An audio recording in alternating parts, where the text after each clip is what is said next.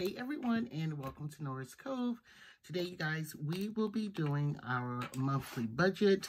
Um, for the month of December, I am a little late, but better late than never. Nonetheless, let's hop right into our monthly budget. Okay, so this will be for the month of December. I just highlighted that there. Um, guesstimating $3,200 for the month, but I'll start with hair. 3200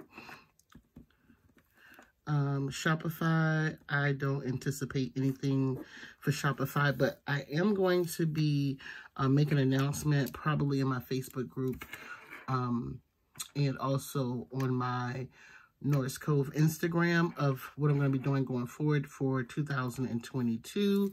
And then for nails,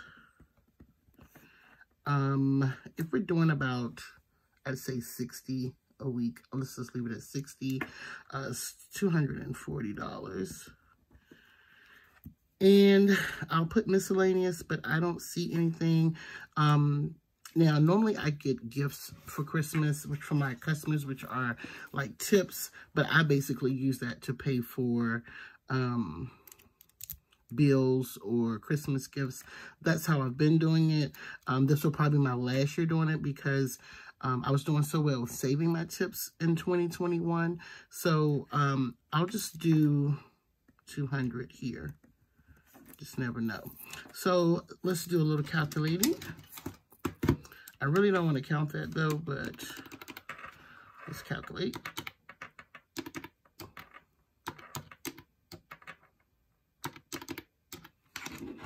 So I have the total being 3640.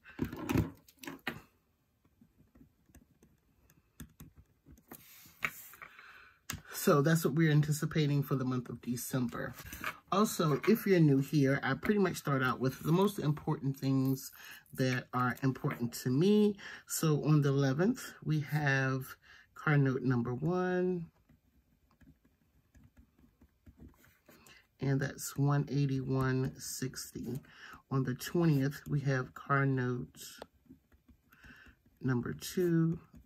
Again, that's 181.60.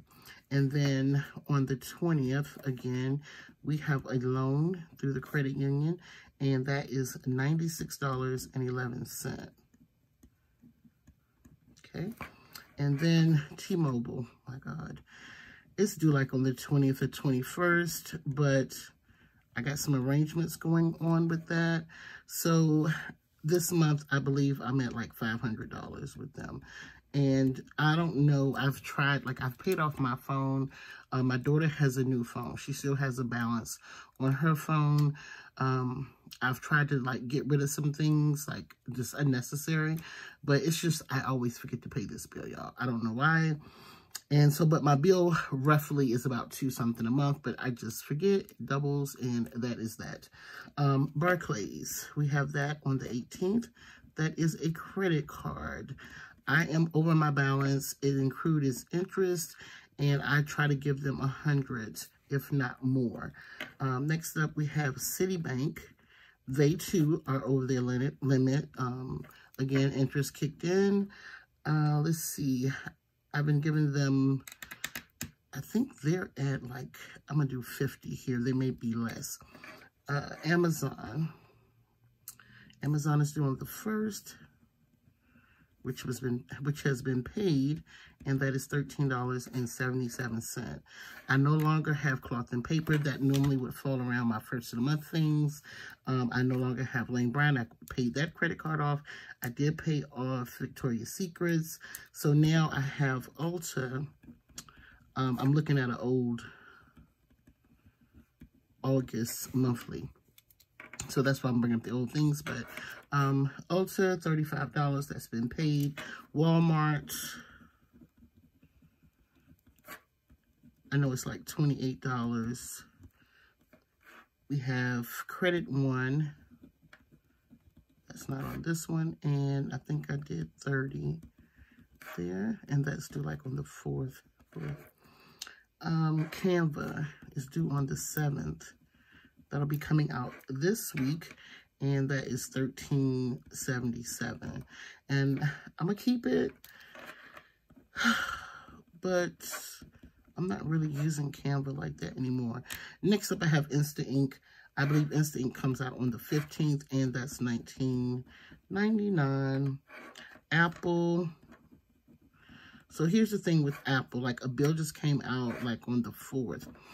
Um, I don't know why they break it up to $3.49. So it's two payments of $3.49. So let's say $7. And then I think I paid $2.99 um, for storage. So that's, I'll just put it at about $12 because I actually need to get some more storage. Um, booth rent.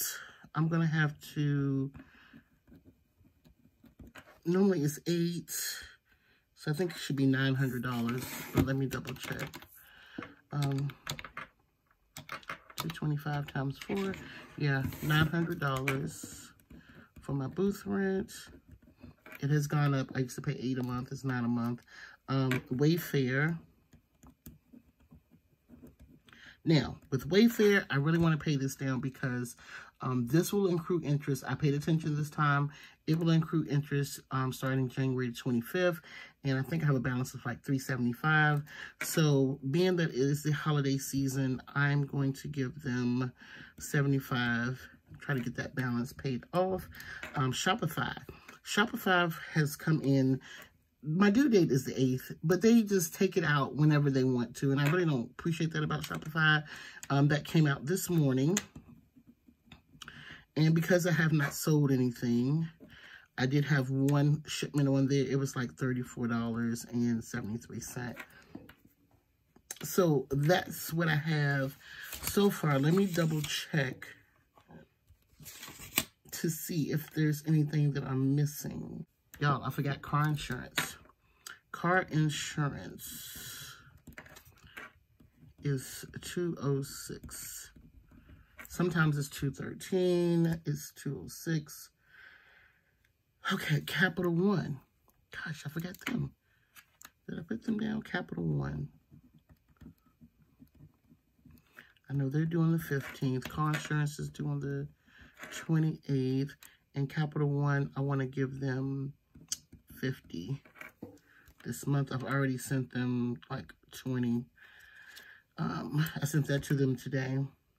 So let's do some totaling.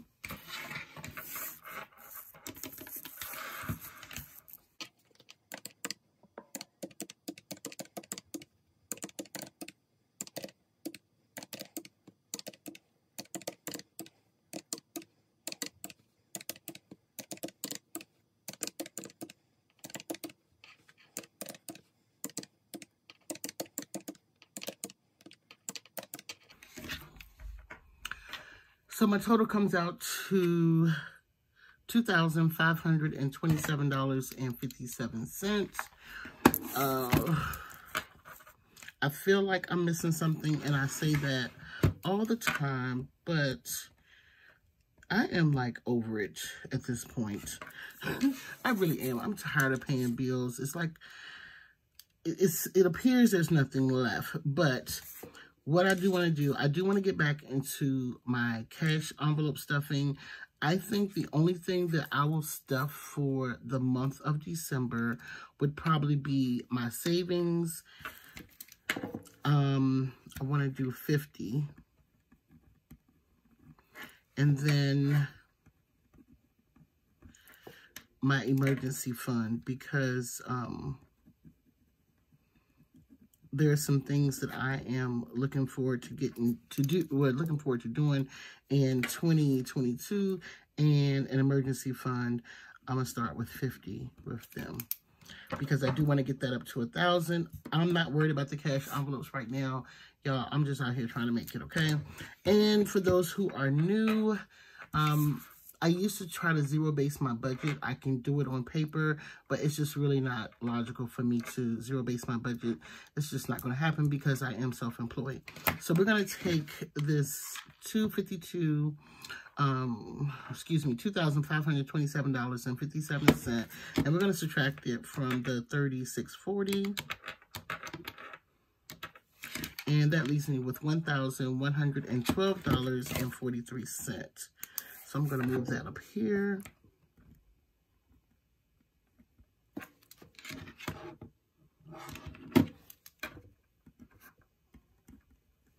Okay, so we should have that left over. And then when we take that $100, that's basically a 100 from it. That should leave us with um, $1,012.43. Like I said, I'm not trying to put in any cash envelopes at the moment. What is left is probably what I'll spend on Christmas and my basic needs like um, my miscellaneous items, you know, things for the house, things like that. And then starting in January, I will be back to cash stuffing because I do have some financial goals that I'm trying to reach in 2022. So let's pop this in.